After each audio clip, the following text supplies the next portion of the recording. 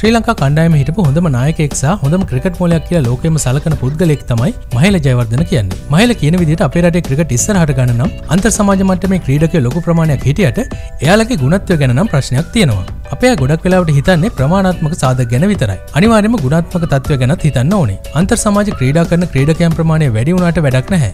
අපි ඒ ක්‍රීඩකයන්ගේ හැකියාවන් වර්ධනය කරලා වඩා තරංකාරී ක්‍රීඩකයන් ජාතික කණ්ඩායමට එන විදියක් ගැන තමයි වැඩිපුර හිතන්න ඕනේ. අනෙත් රටවල ඉන්න ක්‍රීඩකයෝ ක්‍රිකට් වලට දෙන කාලය අපේ අයට දෙන්න පුළුවන් වෙලාද කියලාත් මහල ප්‍රශ්න කරලා තියෙනවා. ඇත්තරම තාම අපේ ක්‍රිකට් වෘතිය මට්ටමට ඇවිල්ලා නැහැ. අපි ඉන්න තාමත් අර්ධ වෘතිය තත්වයක. දවසේ රැකියාව කරලා හවස ඇවිල්ලා පැය එකහමාරක් ක්‍රිකට් පුහුණු වෙලා ජාත්‍යන්තර මට්ටමේ ක්‍රීඩකයෝ හදන්න අමාරුයි. මේ විදිහට අපි පහුගිය කාලේ පහුබහින්න හේතු විදිහට මහල කියලා තියෙන්නේ පහුගිය අවුරුදු 10 15 ගන්න තිබුණු තීරණ නොගත් එක කියලා.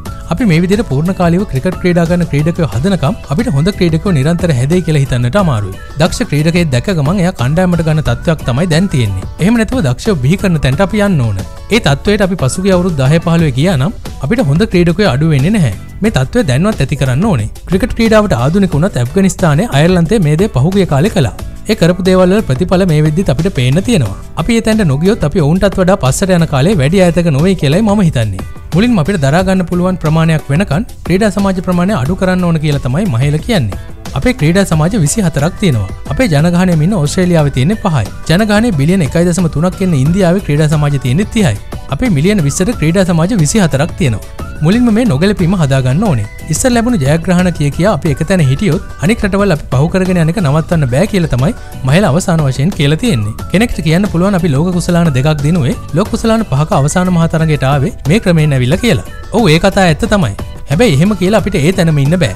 අනි කණ්ඩායම් අලුත් ක්‍රම සොයද්දි අපි එක තැන ඉන්නක හරියන්නේ නැහැ. එහෙමුණොත් අපි මෙතනම ඉදී අනි කණ්ඩායම අපි පහු කරගෙන ඉස්සරහට යයි.